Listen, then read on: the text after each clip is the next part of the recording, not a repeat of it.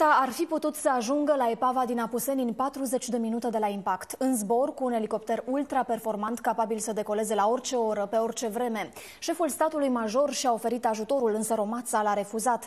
Aparatul Puma Socat, mândria flotei aeriene a României, a rămas la sol, iar răniții au rămas în ger timp de peste șase ore.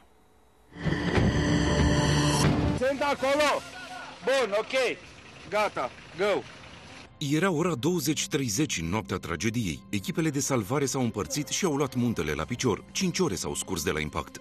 Timp în care răniții ar fi putut fi găsiți de șapte ori. Simplu, cu un elicopter Puma Socat.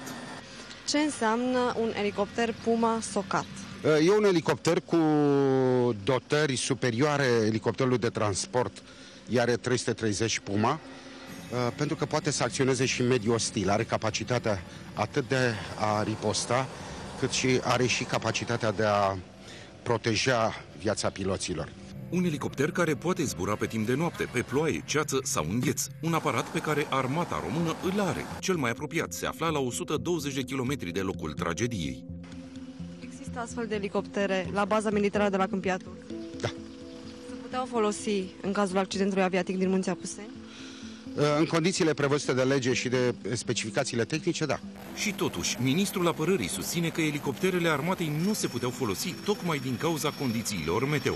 Cu toate astea, MAPN avea obligația morală și legală să-și ofere sprijinul, ceea ce a și făcut la o oră de la accident, printr-un telefon către Romatsa. De la statul major general sunt, am o rugăminte, mi-a ordonat șeful statului major să mă interesez în legătură cu acest BN2, dacă dumneavoastră care coordonați căutarea și salvarea aveți nevoie de mijloace și ce anume. Stupoare însă, Romatsa refuză ajutorul. Am înțeles că a decolat deja smurdul să-l caute și au poziția lor undeva între Beliș și peștera Scărișoara, pe un drum național. Acolo au aterizat și trăiesc toți, dar am înțeles, am înțeles. Dacă e nevoie de ceva, vă rog. Da, mulțumesc. A decolat uh, elicopterul de la Smurd, de la Mediaș, și unde erau condiții meteo mai bune, a ajuns în zonă și s-au întors. Însă elicopterul Smurd a ratat misiunea. Tocmai din cauza condițiilor meteo s-a întors la sol după un scurt survol. De când îi căutați?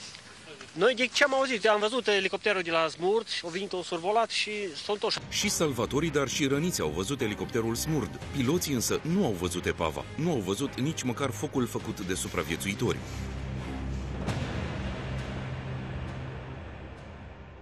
Există un